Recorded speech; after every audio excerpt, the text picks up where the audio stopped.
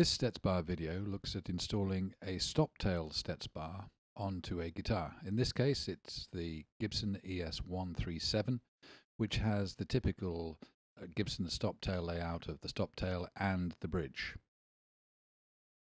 So to begin what we're going to do is to remove the strings, the stop-tail and the bridge and make sure that this area behind the bridge pickup is clear and ready for installation of the Stetsbar. So let's start with the strings.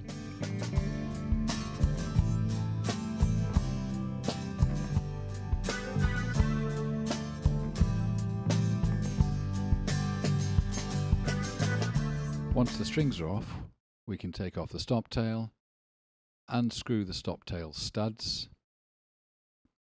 some call them bolts, and take off the bridge and the bridge posts as well. Now we've taken the hardware off the guitar, we can check to see that the bushings and any collars that they may have do not protrude above the top of the guitar surface. And now what we're going to do is to take this chrome stop tail Stetsbar and mount it onto here. Now in the kit that came with the Stetsbar you will find four bolts. Two of these are US spec, so suitable for a guitar like this, a Gibson, and the rest are suitable for non-US manufacture, in other words metric specification. Also in the kit are two nylon washers and also two Allen keys, one of which is used to insert the stop tail bolts and the other is used for tension adjustment and that's going to be covered in a, another video in this series.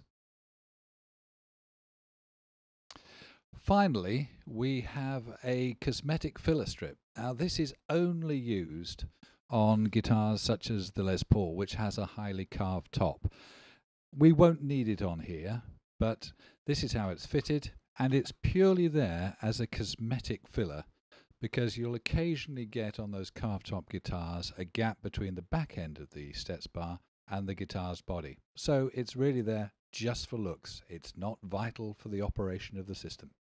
If you do fit it, then cut it like this so that you make sure that the base plate of the Stetsbar always sits flat on the body.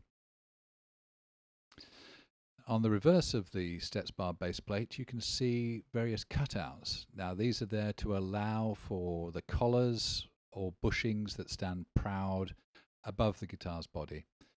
But in this case we don't have to worry because all of the bushings are flat and thus we can put the Stetsbar directly on.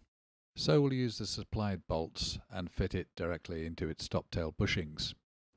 Now before I mount the Stetsbar I always check the retainer screw. Take the bridge off, make sure that transit screw is released and is not going to stop the bridge moving backwards and forwards.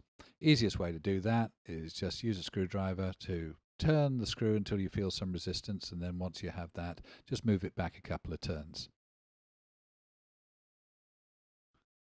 So we can place the Stetsbar roughly in position, take a bolt, put the collar on and start to screw it in uh, by hand to begin with and then you can use the supplied Allen key.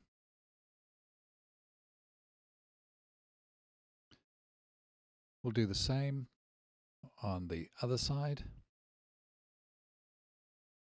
And the trick is here that as these screw down, we don't want to put too much pressure. All we're trying to do is to tighten the bolts up to finger tightness. Just carefully bring them in, close them up until you feel some resistance Now with the Stetsbar in place, we'll put the bridge back on. And our next move will be stringing up and setting up the Stetsbar.